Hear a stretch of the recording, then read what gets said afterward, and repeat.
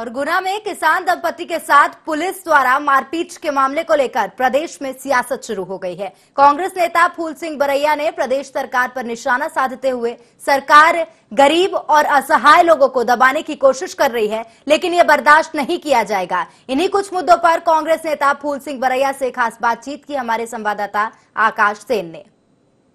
गुना में schedule caste दंपति के साथ हुई मारपीट की घटना को लेकर सरकार ने एक्शन ज़रूर लिया है, लेकिन अब इसको लेकर जो है सियासत भी मध्य प्रदेश में देखी जा रही है हमारे साथ फूल सिंह बरैया जी, कांग्रेस के राज्यसभा प्रत्याशी भी हैं, उस क्षेत्र से भी आते हैं। सर, जिस तरीके से कल एक बड़ी दर्दनाक घटना सामने आई, सरकार ने एक्शन ज़रूर लिया है, लेकिन क्या कहेंगे? मध्य प्रदेश में जो कमज़ोर वर्गों पर अत्याचार हो रहे हैं, वो अत्याचार कोई अपने आप नहीं हो रहे। वो भारतीय जनता पार्टी सरकार का इलेक्शन एजेंडा है। ये पॉलिटिकल एजेंडा है कि जितना ज़्यादा गरीबों के साथ अत्याचार करेंगे, उतने ज़्यादा उनके साथ कुछ शक्तिशाली लोग जुड़ेंगे। ये उनका एक बहुत बड़ा प्रोजेक्ट है। उसी प्रोजेक्ट के तहत इन्होंने गरीब आदमी को जो कल खेती कर रहा था और वो अपने खेतों में अपने दो जून की रोटी कमाने के लिए, फ़सल पैदा करने के लिए उसने बोई हुई थी तो पुलिस वाले लोग गए। और पुलिस वालों ने उन गरीबों को, कमजोरों को इतना बुरी तरीके से मारा है। एक पुलिस वाले का तो मैं वीडियो में देखा कि इतना बुरी तरह से लात मार रहा है कि उस महिला को और उस गरीब राजकुमार को जो लात मारी है पुलिस वाले ने तो मैं डीजी से खुद पूछना चाहता हूँ। क्या मुझे ये बताएँगे? कि इस प्रकार से पुलिस के लोग तुम्हारे घर की महिलाओं को अगर लात मारते तो क्या तुम इसी प्रकार से देखते रहते? ये तुम्हारा जो नाटकी रूप है, इसको बंद करो। और ये कोई न्याय नहीं होता है कि एसपी कलेक्टर हटा दिए। ये कोई उनको सजा नहीं है, कोई दंड नहीं है। आप उस गरीब को जो ज़िंदगी मौत से जूझ रहा है उसके घर जाइए। क्या नुकसान उसका आपने किस आधार पर किया है उसका फैसला कीजिए।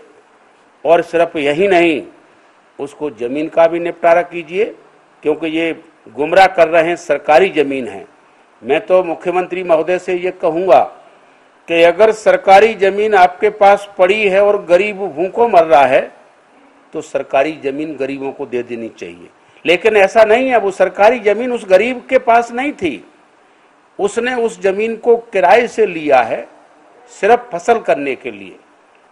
सरकारी ज़मीन अगर होगी तो जिसकी होगी, जिसने किराए से दिया है। तो मैं कहूँगा फिर से कि ये सजा नहीं है, उन पुलिस वालों को इस प्रकार का दंड दें जैसा उन्होंने अत्याचार किया है और उसका जल्दी से जल्दी उस गरीब को न्याय देने की प्रक्रिया जल्दी से जल्दी सरकार शुरू करे। नहीं तो हम लोग जो है कल जो है जा रहे हैं वहाँ उसी घटना स्थल पर जा रहे हैं कि इन्होंने किस प्रकार से उस गरीब के साथ में अन्याय किया है। सर क्या बड़े आंदोलन की तैयारी है? क्योंकि कल आप सब जा रहे हैं क्या कांग्रेस के भी नेता आपके साथ जा रहे हैं और कितने लोग होंगे कौन कौन होंगे और अब किस तरीके से आंदोलन करने की तैयारी? कल हम लोग वैसे तो मैं आज ही जाने की सुबह तैयारी कर चुका था लेकिन मुझे खबर आई कि कल कांग्रेस पार्टी का पूरा प्रतिनिधि मंडल जाएगा तो उस प्रतिनिधि मंडल में हम लोग सब जाएँगे और वहाँ स्पॉट पर देख करके कि अत्याचार किस प्रकार का हुआ है। इसके पीछे भारतीय जनता पार्टी गहराई से कहाँ तक है, तब हम आंदोलन का फैसला करेंगे और वो आंदोलन न्याय मिलने तक ही नहीं, बल्कि अत्याचारी सरकार को उखाड़ फेंकने तक का आंदोलन हमारा जारी रहेगा।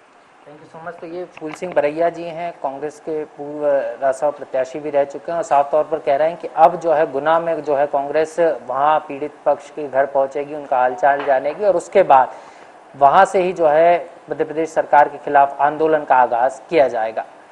कैमरा पर्सन नारायण के साथ आकाश सैन आई भोपाल।